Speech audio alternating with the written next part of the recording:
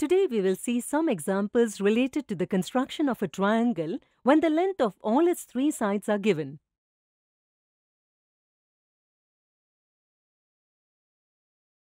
In triangle EFG, EF is equal to 5.5 cm, FG is equal to 6.5 cm, GE is equal to 8 cm.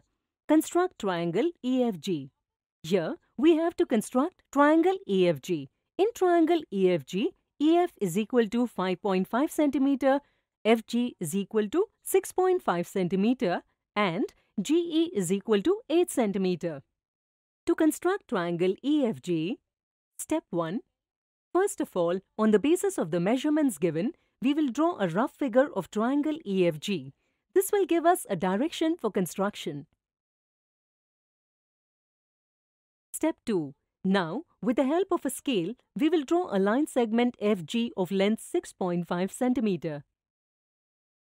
Step 3. From the measurements given, it is known that point F is at a distance of 5.5 cm from point E.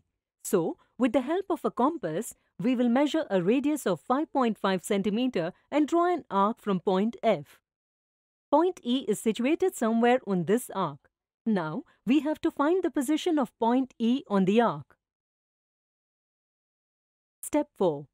We know that point G is at a distance of 8 cm from point E. Therefore, with the help of a compass, we will measure a radius of 8 cm and draw an arc from point G. Step 5.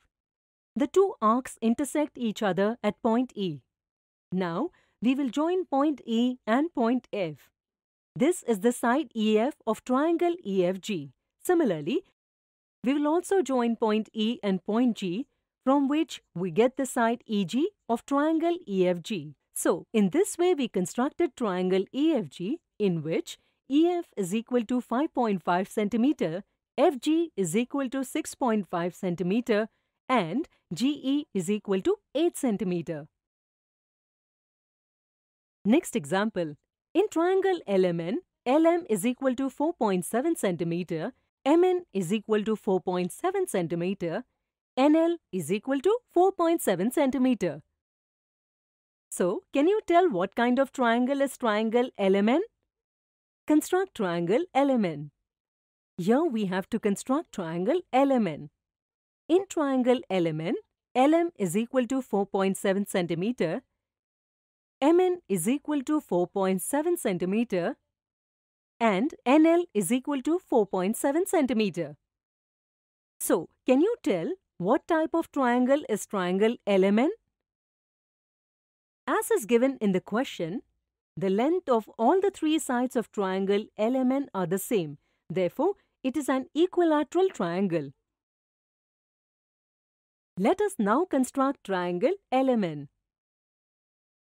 Step 1. First of all, with the help of a scale, we will draw a line segment of length 4.7 cm. We will name the line segment as MN. Step 2. From the question, we know that point M is at a distance of 4.7 cm from point L. Now, taking a radius of 4.7 cm on the compass and taking point M as the center, we will draw an arc. Point L is situated somewhere on this arc. We have to find the exact location of point L on the arc. Step 3. Point N is at a distance of 4.7 cm from point L.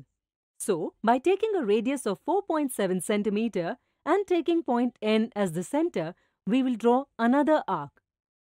Step 4. We can see that both the arcs intersect each other at a point. We will name the point of intersection as L. Now, by joining the point L with point M and point N, we will complete the construction of triangle LMN. The desired equilateral triangle LMN is ready in which the length of LM, MN and NL is 4.7 cm. Today we saw examples of constructing a triangle when the length of all its three sides are given.